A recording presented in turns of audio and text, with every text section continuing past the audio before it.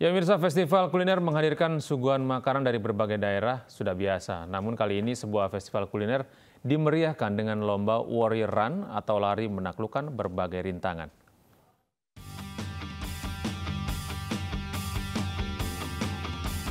Serpong Green Warrior Run atau SGWR merupakan satu dari rangkaian acara festival kuliner Serpong yang selalu dinantikan oleh sport antusias.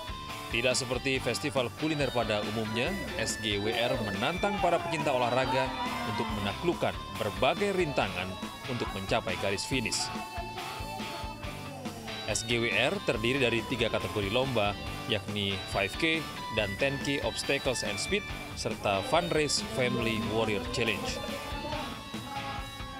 Saya waktu dua tahun yang lalu sudah pernah ikut juga, ya. Tapi kayaknya yang sekarang lebih banyak lagi nih uh, challenge-nya dibanding dua tahun lalu. Anak sendiri gimana nih? Kenapa mau bawa anaknya? Iya supaya ada aktiviti di luar rumah aja dan nggak cuma lari doang, tapi ada challenge-nya.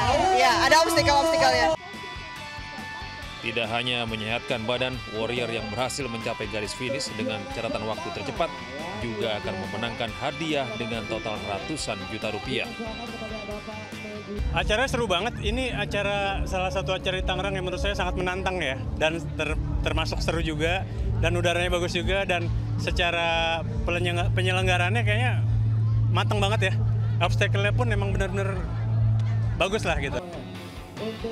Festival kuliner Serpong ini akan berlangsung selama satu bulan sejak 27 Oktober hingga 27 November 2022.